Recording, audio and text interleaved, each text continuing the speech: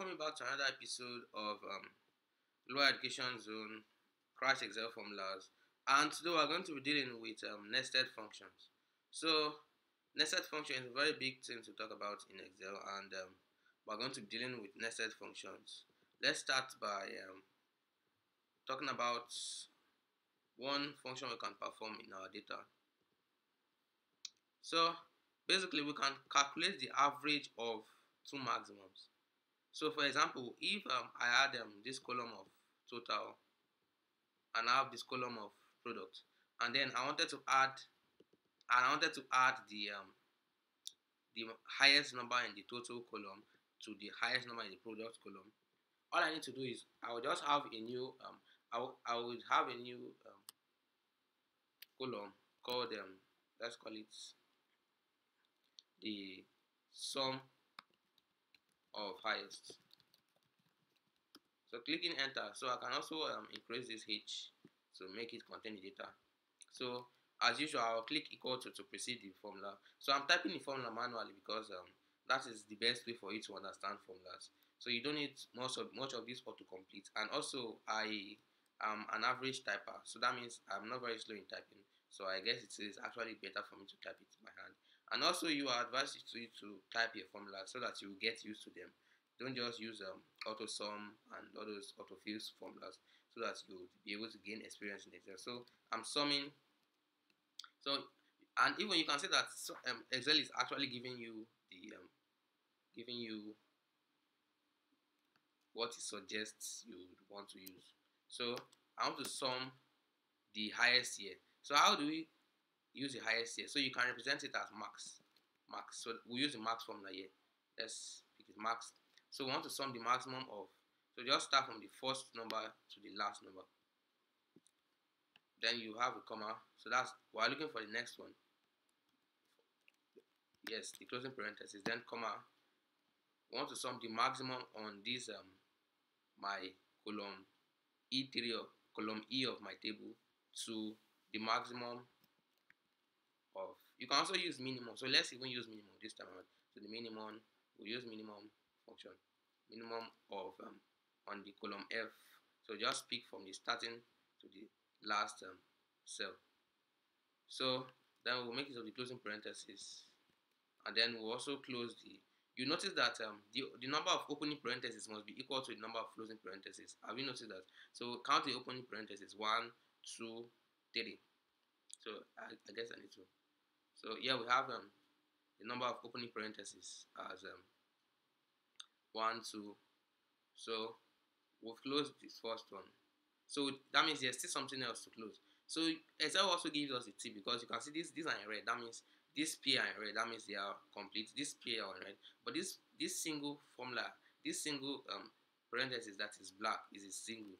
So that means it is not it is not closed. So the closing one is going to settle that. And then when we click enter we're going to get the sum of the maximum on this column and the minimum on this column. So that is an example of nesting of, func of, of functions. So this um, in this sum in this sum function you have a maximum function and a minimum function nested in a sum function. So that is not the only way we can do that. We can also um, nest a function in another function. So we can use the count if count so the count if function it's it's it's it's it um, helps us to know to know um, the number of times that a particular condition is satisfied. So we want to count if um, a range. So let's let's have this range. So we want to count if this range is um we want to count if the sum of numbers on this range is greater than the sum of numbers on this range. So sum of numbers on the on the on the range from on, from from this year to year is greater than sum of numbers on this year to year. So let's um input that. Um, let's have the range as um C3 to C6. So we want to okay we want to count if um, sum of um, I've, i almost forgot the sum. So sum of C3 to C6. I want to count if the sum on that range is um greater than. So let's use greater than so we use this is greater than average greater than the average so we want to check if the sum of this range is greater than the sum on here okay let's use average though. It's greater than the average of the numbers here. Average let's use the average. Yes. The average average of um, let's just select the range. Average of um, okay. Range of e3 so I need to see this e3 to e6 so with the closing parentheses I'll close that and then finally I'll close the final one so when I click enter, let's see what that, what, what that does. So now there's a problem with my formula. Uh, so not trying to type a formula. When typing, when the first character is an equal to or minus, that things is the formula. So basically, it looks like I have made an error. So looks like let me let me try using this because this is the sign it suggested. So let's let's enter. Okay, it looks like I have an issue with the formula. Type an apostrophe first. So let me let me use an a, this symbol. So it looks like we have an issue with this formula. So we, instead we'll use a single quotation. Let's let's see if, if a single quote does the job. Okay. Type an apostrophe first. Okay. Let me see if we can use an apostrophe here too.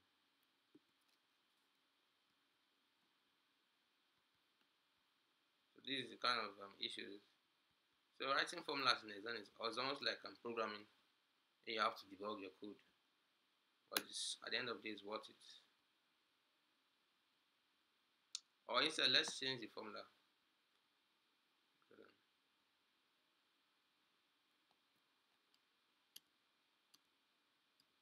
So greater than average of each rate. So let's see what happens. Looks like we're having an issue with this formula.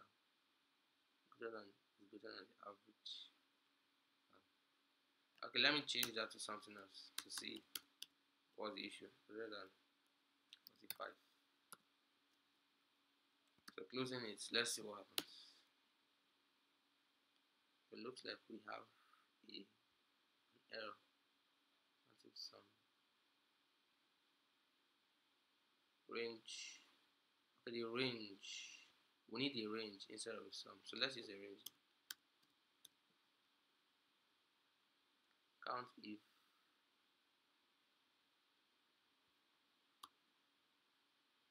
okay let's see Oh, I guess we really have an issue with this formula. If this range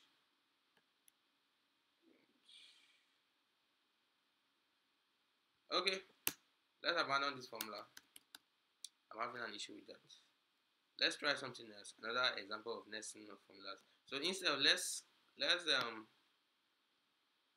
have the maximum of totals.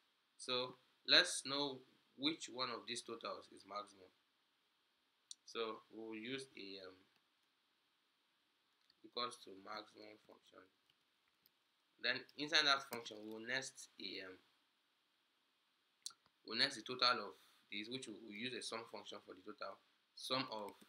So input the range, which is from here to here, and then close the parentheses. Then the next um, parameter that will be maximum of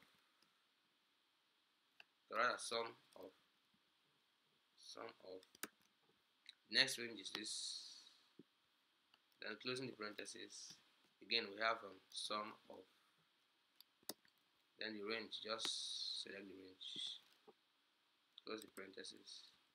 So I get that does it. So that's okay. So when you click enter you will get the maximum of the sum of each of these. So the maximum of the each of the sum on each of these of this of these columns is 232 and that is obviously that is true because when we calculated the total the maximum of these three totals is 202 so that shows that these formulas are actually valid and they um, they, they are actually um, useful and used. So you can actually nest to any function you want to use. You can nest any function as much as possible. So you, if you want me to um, explore much more many more examples of nesting function i will do a video on that special video on that. But today this is just an overview of nesting of functions. So we'll go to something else my next episode. Thanks for watching